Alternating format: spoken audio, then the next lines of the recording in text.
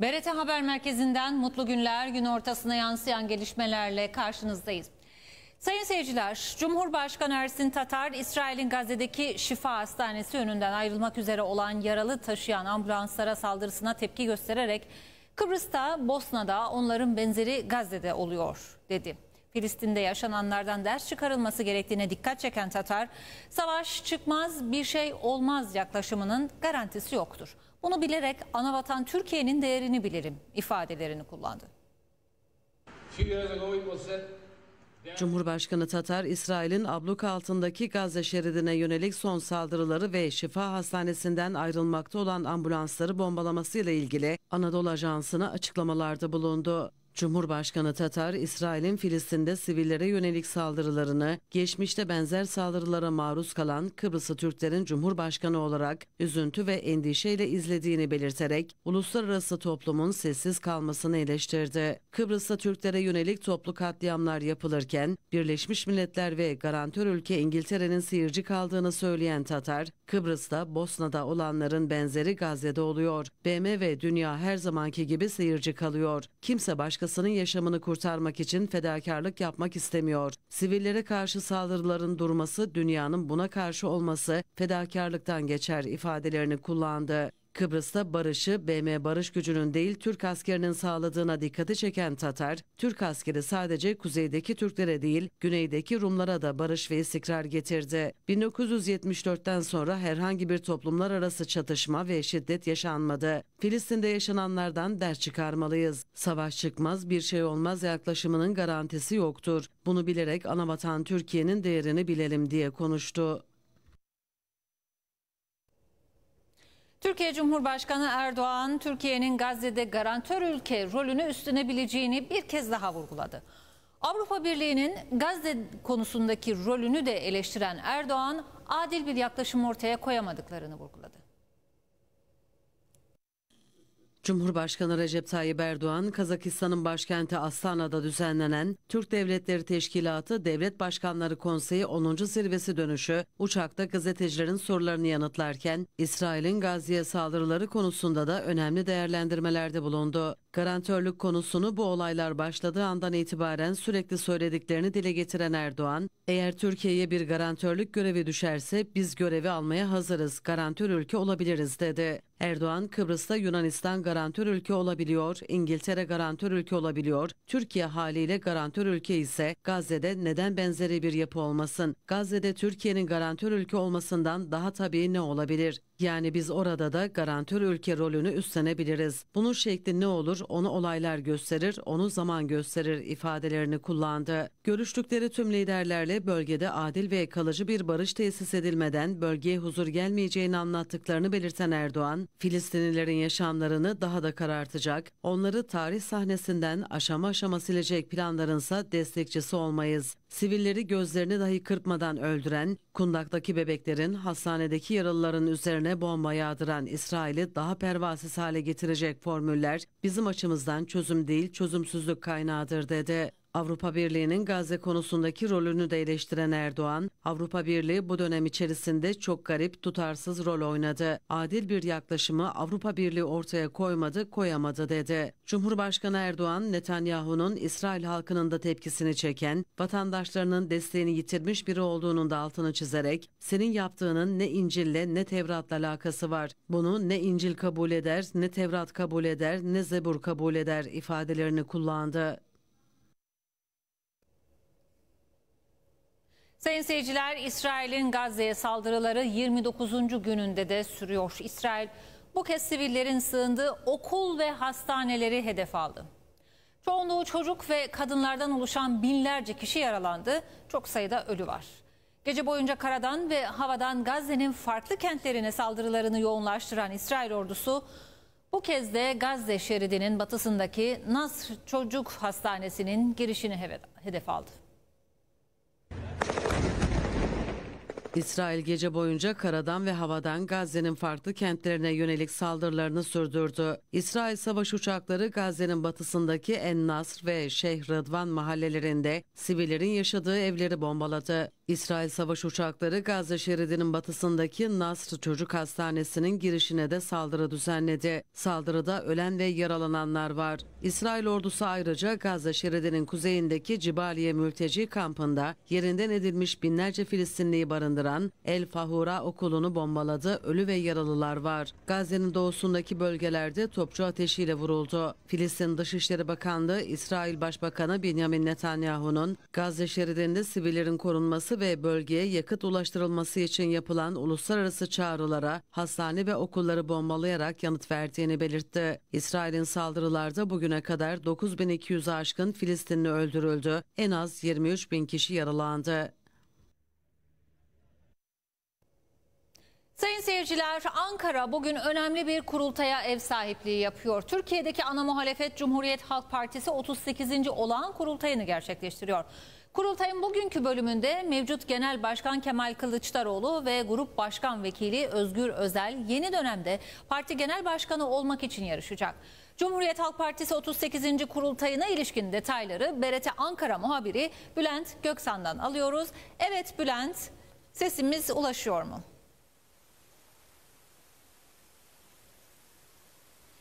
Evet sayın seyirciler, Ankara'da yapılacak olan genel kurultay için bağlantımız olacak. Gibi ana muhalefet Cumhuriyet Halk Partisi'nin bugün 30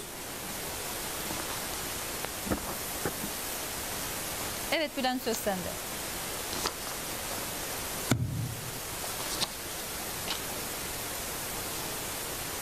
Evet Caner, e, Cumhuriyet Halk Partisi'nin 38. olağan kurultayı bugün Ankara Spor Salonu'nda gerçekleştiriliyor. E, Bugün genel başkanlık seçimi yapılacak. Yarın da e, parti meclisi üyeleri seçilecek. İstanbul Büyükşehir Belediye Başkanı Ekrem İmamoğlu'nun divan başkanlığını yürütmesi bekleniyordu. E, bu gerçekleşti. 1368 delege oy kullanacak genel başkanı seçmek için sandık başına gidecek. Cumhuriyet Halk Partisi Genel Başkanı, Grup Başkanı ve e, Genel Başkan adayı Özgür Özel saat Türkiye saatiyle saat 12'de kurultay salonuna giriş yaptı. Yaklaşık 15 dakika sonra da Kemal Kılıçdaroğlu, mevcut Genel Başkan ve Genel Başkan adayı e, Kemal Kılıçdaroğlu 12-15 sıralarında e, kurultay salonuna giriş yaptı. İlhan Cihaner son e, dakika gelişmesiyle adaylıktan çekildiğini açıkladı. Dakikalar kala adaylıktan çekildiğini açıkladı. Bir diğer parti meclisi üyesi, eski parti meclisi üyesi Örsan Ömen ise eğer aday, adaylık için gerekli imza toplamasını e, halinde genel başkan adaylığını e, açıklayacak. CHP Genel Başkanı'na aday olabilmek için 65, parti meclis üyeliğine aday olabilmek için ise 10 delegenin imzası yeterli oluyor. Kurultaya öncesi tabii ki her iki adayın da delegelerin desteğini almak için attıkları adımlar tabii ki dikkat çekici.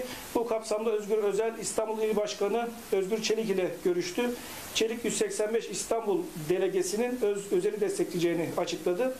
CHP İstanbul İl Başkanı, Ankara İl Başkanı Ümit Erkol önderliğinde de 55 il başkanı kurultay delegelerini temsilen Kılıçdaroğlu'nu destekle- desteklediklerini deklarasyon açıklayarak deklarasyonla açıkladılar. Kurultayda adaylar arasında uzlaşma sağlanması durumunda parti meclisi seçimlerinin blok liste ve fermuar yöntemiyle gerçekleştirilmesi bekleniyor. Blok listede uzlaşma olmaması durumunda her aday anahtar listesini açıklayarak çarşaf listeden kendisine yakın isimlerin parti meclisine girmesini sağla, e, girmesini sağlamaya çalışacak. Parti meclisinde Cumhuriyet Halk Partisi Parti Meclisi 60 kişilik 60 kişiden oluşuyor ve çok e, etkili, en yetkili kurum ola- olarak e, görev yapıyor. Merkez Yönetim Kurulu üyeleri de parti meclisi içerisinden atanırken milletvekili ve belediye başkanları listelerinde yine parti meclisi tarafından onaylanıyor. E, salonda Ke- Kemal Kılıçdaroğlu'nun salona girmesinin ardından Kemal Kılıçdaroğlu'nun yaptığı adalet yürüyüşü gösterildi. Bu durum salonda e, alkışlarla karşılandı. İlk konuşmayı Parti Genel Başkanı sıfatıyla Kemal Kılıçdaroğlu yaptı ve İstiklal Marşı ve saygı duruşuna davet etti katılımcıları.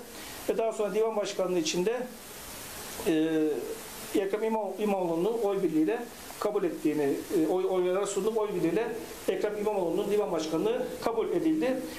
Yabancı misyon şefleri de e, salonda bulunuyorlar ve İYİ Parti'yi temsilen de Oktay Vural e, bu kurultayı izliyor. Ee, onun dışında Divan Başkanı olan Ekrem İmamoğlu e, kısa bir konuşma yaptı. Partisinin 38. olan kurultayının ülkeye, millete ve demokrasimiz, demokrasiye hayırlı sonuçlar getirmesini diledi.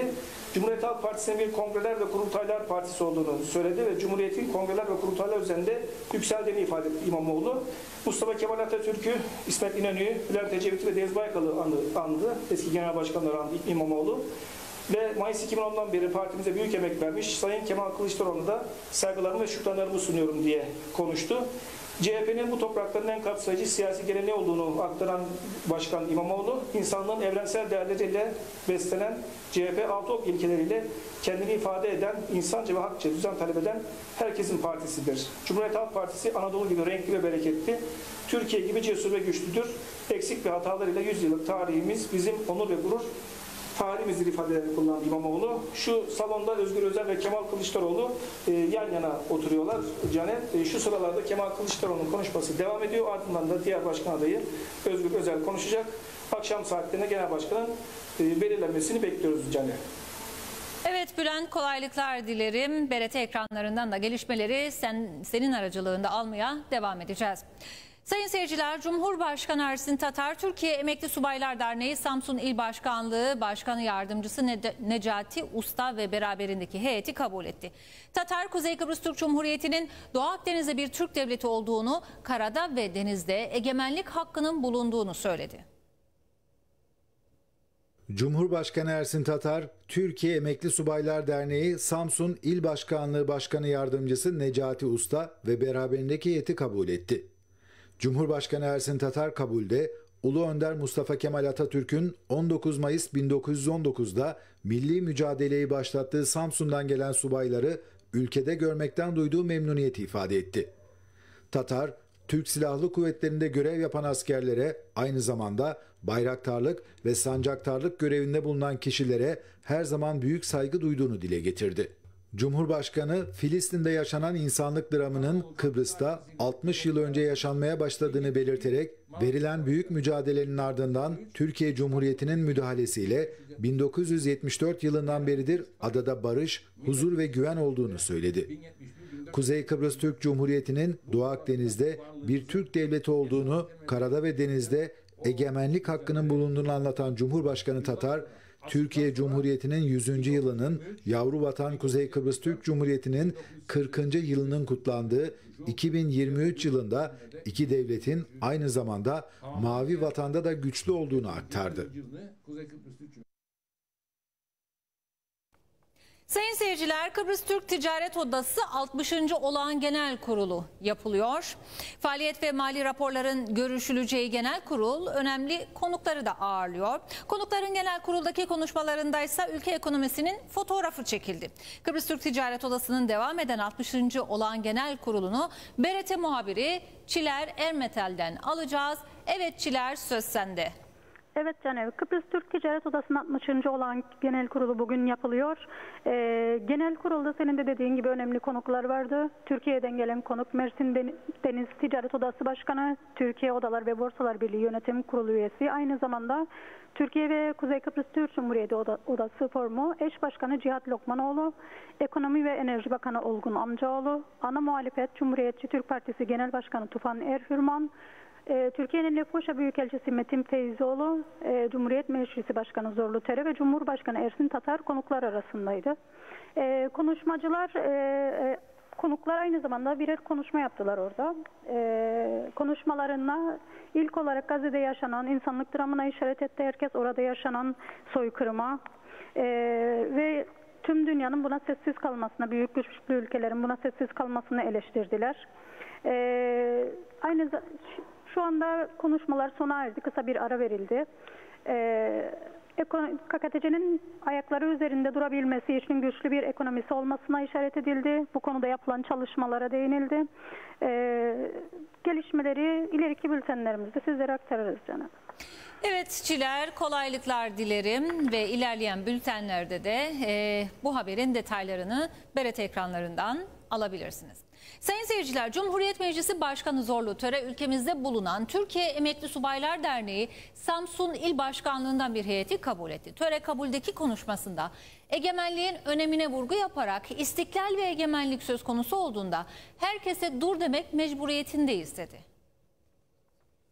Cumhuriyet Meclisi Başkanı Zorlu Töre, Kuzey Kıbrıs Türk Cumhuriyeti'nde bulunan Türkiye Emekli Subaylar Derneği Samsun İl Başkanlığından bir heyeti kabul etti. Kabulde Kuzey Kıbrıs Türk Cumhuriyeti Emekli Assubaylar Derneği Genel Başkanı Esen Ömürlü de yer aldı. Konuk heyete hitaben bir konuşma yapan töre, Kıbrıs sorununda geçmişten bugüne yaşanan gelişmeleri özetledikten sonra Gazze'de İsrail tarafından gerçekleştirilen saldırılara değindi. Bütün dünyanın göz önünde devam eden soykırıma uluslararası kuruluşların sessiz kaldığı, hatta bazı kesimlerin İsrail'i desteklediğinin görüldüğüne değinen töre, aynı tablonun geçmişte de Kıbrıs Türkleri için yaşandığını anımsattı. Hiçbir zaman aldanılmaması gerektiğini ifade eden töre, böyle bir durumda vatanın tehlikeye düşebileceğini söyledi. Töre, istiklal ve egemenlik söz konusu olduğunda herkese dur demek mecburiyetindeyiz dedi. Tekrar 20 Temmuz öncesine düşmek istemediklerini vurgulayan töre, Türkiye'den ve Türk milletinden hiçbir zaman uzak kalmayacaklarını dile getirdi. Ombudsman İlkan Varol Avrupa Ombudsmanlık Enstitüsü tarafından düzenlenen konferansta konuşma yaptı. Konuşmasında ülkede din, dil, ırk ayrımı yapılmaksızın herkesin yasalar karşısında eşit olduğunu kaydetti. Ombudsmanların bağımsızlık ve tarafsızlık özellikleri, dini hakların korunması ve toplumsal adaletin sağlanmasında büyük önem taşıdığına da işaret etti. Ombudsman İlkan Varol, Dubai'de Avrupa Ombudsmanlık Enstitüsü tarafından davet edildiği konferansta dini haklara odaklanarak ayrımcılığa karşı korumada ombudsmanın rolü konusunda konuşma yaptı. Dini haklara odaklanarak ombudsmanın ayrımcılığa karşı korumadaki rolünü ele alan Varol, ombudsmanın birçok ülkede bağımsız bir kamu kurumu veya kişi olarak vatandaşların ve toplumun haklarını ve çıkarlarını korumaya amaçlayan önemli bir role sahip olduğunu vurguladı. Bize şikayet geldiği zaman hiçbir şekilde ayrım yapılmadan en prosedür aynı şekilde devam ettiriliyor, çalıştırılıyor ve sonuçta eğer idare burada hatalıysa karşısındaki kişi her kim olursa olsun dini inancı, milliyeti, e, görüşü, rengi her ne olursa olsun aynı şekilde prosedür devam etmekte ve herhangi bir şekilde mağduriyeti varsa bu bizim tarafımızca en erken bir şekilde giderilmektedir. Dini hakların önemine vurgu yaparak ombudsmanların bu hakların korunmasında önemli bir rol oynadığını dile getiren Varol, ombudsmanların bağımsız ve tarafsız olduğunu vurguladı. İnsanların dini haklarının ihlal edildiği durumlarda ombudsmanlar şikayetleri inceleyebilir, soruşturabilir ve bu hakların korunmasını sağlayabilirler. Ayrımcılığa karşı mücadelede de etkili bir rol oynarlar diyen Varol, ayrımcılığın dini hakların ihlaliyle sık sık ilişkilendirildiğini kaydetti. Ombudsmanların dini hakların korunmasında toplumların daha çeşitli ve hoşgörülü hale gelmesine katkı sağladığına dikkat çeken Varol, inançlarını özgürce yaşayabilen bireylerin daha mutlu ve sağlıklı toplumlar oluşturduklarını kaydetti. Dini inanç özgürlüğünün ibadetler, dinsel ayin ve törenlerde de çok net şekilde koruma altına alındığına dikkat çeken Varol, ombudsmanın bir konuda haksızlığa uğradığını iddia eden bir kişinin şahsen yapacağı müracaat üzerine harekete geçebileceği gibi basında çıkan haberler, elde ettiği duyumlar, yaptığı gözlemler sonucunda da resen harekete geçip soruşturma başlatabileceğini vurguladı. Ombudsmanlığın hiçbir şekilde ayrım yapılmadan herkesin başvurusunu yapabileceği bir kurum olduğunu dile getiren Varol, Kuzey Kıbrıs Türk Cumhuriyeti'nde hak ihlaline uğrayan kişilerin mağduriyetinin yapılan soruşturma ve raporlama sonucunda giderildiğini kaydetti. Ombudsmanların dini hakların korunmasında ve ayrımcılığa karşı mücadelede önemli bir role sahip olduklarını vurgulayan Varol, ombudsmanların bağımsızlık ve tarafsızlık özellikleri, dini hakların korunması ve toplumsal adaletin sağlanmasında büyük önem taşır. Bu nedenle ombudsmanların çalışmalarını desteklemeli ve dini hakların herkes için korunmasını sağlamalıyız dedi. Konferansta Ombudsman İlkan Varol'a Kuzey Kıbrıs Türk Cumhuriyeti Abu Dhabi temsilcisi Umut Koldaş eşlik etti. Sayın seyirciler, İçişleri Bakanı Dursun Oğuz, Tatlısu Belediye Başkanı Hayri Orçan ve Tatlısu bölgesi muhtarlarını kabul etti. Bölge sorunları ve taleplerinin ele alındığı görüşmede İçişleri Bakanı Dursun Oğuz, bölgenin cazibe merkezi haline dönüştüğüne işaret ederek bölgenin yapısının korunacağını belirtti. İçişleri Bakanı Dursun Oğuz, Tatlısu Belediye Başkanı Hayri Orçan ve Tatlısu bölgesi muhtarlarıyla görüştü. Tatlısu Belediye Başkanı Hayri Orçan, kırsal kesim arazilerinin gençlere verilmesine ve bölgenin dışındaki yatırımcılara kısıtlama getirilmesi yönünde talepte bulundu. Orçan, denizden 100-150 metre uzaktaki alanların yeşil alan, yürüyüş yolu, bisiklet yolu gibi amaçlar için belediyenin kullanımına verilmesi yönünde talepte de bulundu. Tatlısu bölgesine gün geçtikçe artan ilginin farkında olduklarını dile getiren Bakan Oğuz, sosyal konut amaçlı ayrılan altyapıları hazır olan yerlerin bir an önce gençlere verilmesi yönünde çalışma başlatacaklarını vurguladı. Bölgedeki kaynakların kısıtlı olduğuna dikkat çeken Bakan Oğuz, bölgeye daha fazla kaynak sağlanması için devlet destekli sosyal konut modeli yapıların inşa edileceğini belirtti. Değerli izleyenler, tarımda insansız hava araçları teknolojilerinin kullanımı, akıllı tarım ve tarımda dijital okur yazarlık konulu başlıklarında 6 Kasım pazartesinden itibaren eğitimler verilmeye başlanacak. Tarım ve Doğal Kaynaklar Bakanlığı, Türkiye Cumhuriyeti Lefkoşa Büyükelçiliği Kalkınma ve Ekonomik İşbirliği Ofisi ile Kıbrıs Türk Çiftçiler Birliği'nin katkısıyla tarıma yönelik eğitimler başlıyor. Tarımda İHA teknolojilerinin kullanımı, akıllı tarım, tarımda dijital okuryazarlık konularındaki eğitimler 6 Kasım pazartesi başlayacak ve 10 Kasım cuma günü tamamlanacak. Katılımcılara 3 eğitim için 3 ayrı sertifika verilecek. Türkiye Cumhuriyeti Tarım ve Orman Bakanlığı Adana Zirai Üretim İşletmesi Tarımsal Yayın ve Hizmet İçi Eğitim Merkezi Müdürlüğü uzmanları tarafından verilecek eğitimler Kalkınma Bankası konferans salonunda olacak. Halkın katılımına açık olacak eğitimlerle ilgili gün, saat ve konu başlıkları ise şöyle. 6-7 Kasım 9-15 saatler arasında tarımda İHA teknolojilerinin kullanımı, 8-9 Kasım 9-15 saatler arasında akıllı tarım, 10 Kasım 9-15 saatler arasında tarımda dijital okuryazarlık. BRT Haber Merkezi'nden gün ortasına yansıyan haberler böyleydi. Gelişmelerle yeniden karşınızda oluncaya kadar hoşçakalın.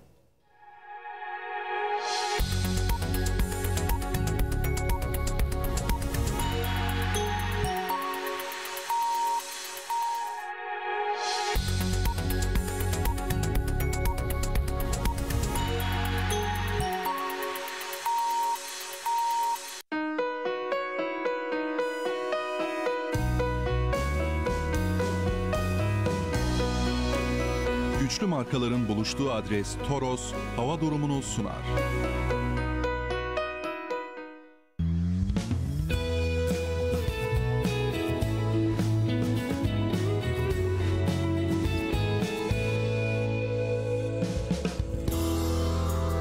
Alçak basınç sistemiyle ılık ve nemli hava kütlesinin etkisinde kalacak olan yurdumuzda hava parçalı bulutlu geçecek.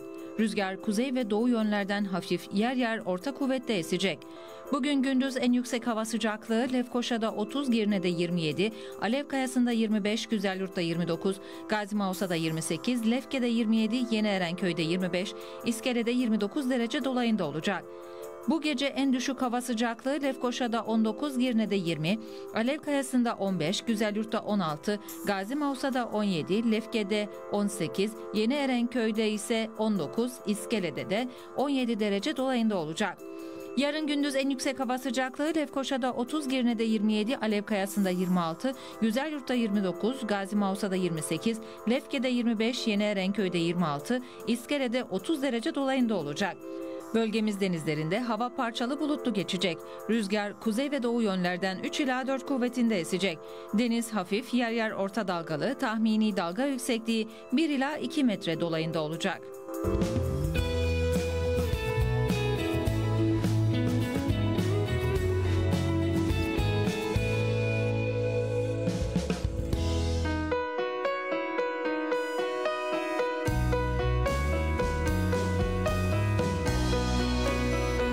Markaların buluştuğu adres Toros hava durumunu sundu.